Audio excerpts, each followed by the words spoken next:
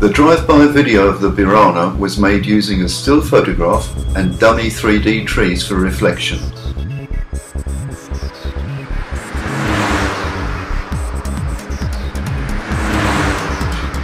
A shadow with alpha channel was superimposed on the scene.